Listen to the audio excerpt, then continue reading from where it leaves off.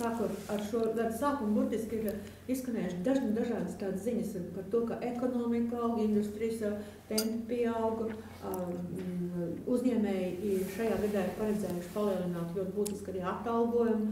Nu, pie, piemērs bija vienā ziņā par to maksimumu, ka tur pārdevēji sasniegšot pat 1000 eiro algu, kaut gan reāla alga šobrīd, tā skaitā Rīgā, ir ā, minimālā. Kā jūs domājat, kāpēc tādas ziņas, viņas pilnīgi ne uz ko nav balstītas, tiek izplatītas? Nu, konkrēti par pēdējo piemēru. Ka, kas to dara un kam tas ir izdevīgi šādas? Tas ir teiks. Nu, es atklāti, ko nezinu, cik tur tai maksimā, tā, kas, jā, es, es gan neiepērkos, maksimā es neiepērkos, es Rimiju un vēl šo tur pārtiku pērku, tirgu man vislabāk patīk. Ventspils, Ventspils tirgu, bet Rīgas tirgus arī nav vaina. Uh, man grūti spriest, es, godīgi sakot, es neesmu, neesmu redzējis un neesmu lasījis. Es tikai, kas attiecas uz uh, oficiālā statistika, rāda, ka uh, vidējā darba alga pieaug apmēram 7% gadā, kas ir ļoti augsts temps. Bet tā galvenā problēma ir tāda, ka Latvijā darba ražīgums ir apmēram puse no attīstīto Eiropas valstu darba ražīgumu, un tā ir milzīga problēma.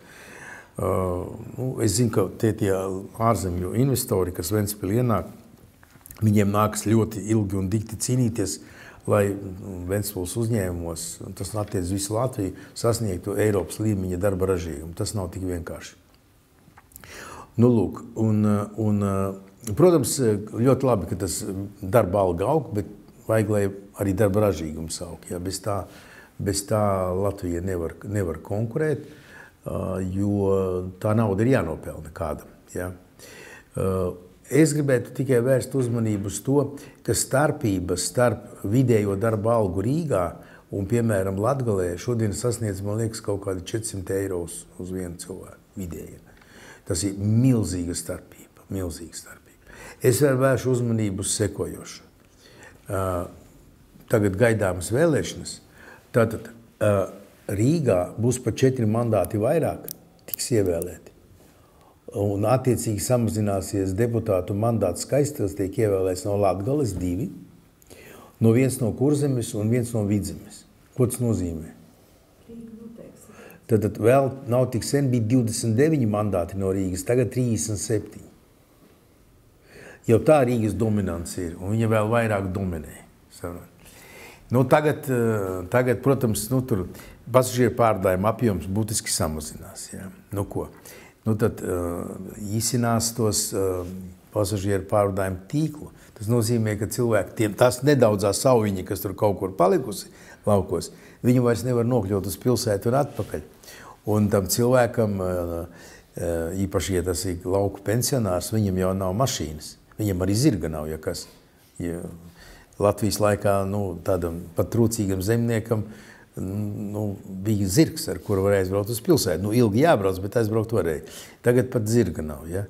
Nu, līdz ar to tā situācija ir uh, dramatiski pasliktinās. Un, bet kas ir galvenais? Bet tā, tā, tā priecāšanās par vidējiem statistikas rādītājiem ja, ir labi. Ir labi vidēji bet Latvija nav vidēja. Ot nav vidēja, ja? nav vidēja. Atcerieties, kādu bombu tur Latgales investīciju programmas un Latgales atzimšanu un tā tālāk. Rezultātā divi mandāti mazāk no Latgales. Ot ir visa atzimšana. Kas tad tas par rezultātu? vēl pēc gadiem, gadu nākošā, vēl viens mandāts mazāk, vēl viens, nu, beigās, nu, tur viens, viens deputāts no visas Latgales no simts, jā. Ja? Nu, tad līdz ar to tā latgales balss uh, iz, izšķipt. Tas pats attiec kurzem un vidzem. 5 kapeiks labāk ir, ja? Uh, nu, es varbūt uz to aspektu norādītu, ja? Uh, pie tam, redzat, tā darba alga, viņi, te, viņi rēķinā tiek, ja nemaldos, uzņēmumi, kur strādājuši skaits lielāks par 50. Šobrīd nav statistika, vismaz mums nav. Statistika, vidējā darba alga visiem nav tāda statistika uzņēmumi virs 50, nu, tas jau ir drīzāk izņēmums kā norma, īpaši ārpus Rīgas. Ventspils novadā cita tāda uzņēmuma, kur ir 50 nodarbināti. Do, novada domi. Jā. Nu tā. Un, protams, šajos uzņēmumos no, no maisa grūti maksā, maksāt naudu, līdz ar to nu, tur, tā oficiālā alga ir, un līdz ar to viņi arī ir lielāki. Tā kā jums tas jautājums jau ir pamatots. Jā. Uh, vienmēr ir tas vēlns apslēgts detaļās. Jā. Tā, tā ir fake ziņa savā ziņā, tā ir taisnība. Jā. Tā ir taisnība vienkārši tiek musināts pie lasītāja. Viņš izlasa kaut ko tādu, viņš izzina tūkstots eiro pārdevējs nepelna. Mm. Es, godīgi sakot, es nezinu par pārdevējiem, bet es nedomāju, ka 1000 eiro no, pelna pārdevējs. Pat, pat veselīgi, kur algas ir augstākas, tāds nav. Mm, mm. Mm. Bet kādreiz būs jāuzprasa, varbūt man kāds pateiksies.